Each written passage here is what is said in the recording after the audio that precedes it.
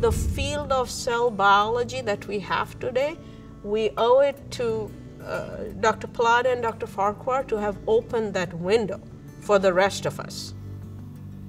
My husband, George Palade, was recruited to be Dean of Science, and I was recruited to be chair of the new department of basic science, which ultimately became the Department of Cellular and Molecular Medicine.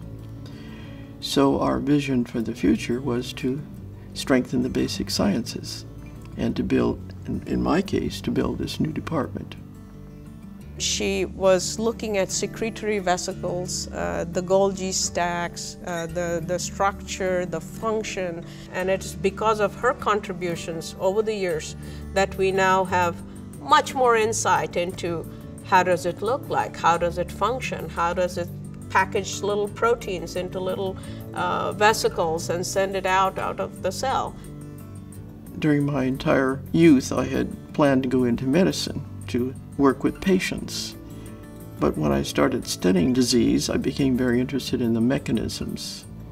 The disease themselves were affecting humanity, but little was known about mechanisms of disease at the time, and so I thought it would be exciting to try to understand what became the cellular and molecular basis of those diseases.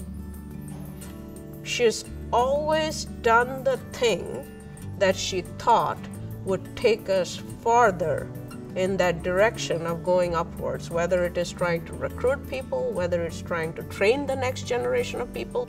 She enabled the women scientists around her.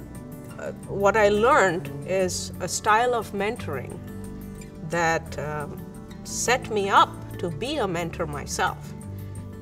I think mentoring is important because each scientist has a finite life and but the people we train represent the future, the future of science, and they create future progress. When we came to UCSD, we came here because we thought this would be the, a very exciting place to be for the next 10 years.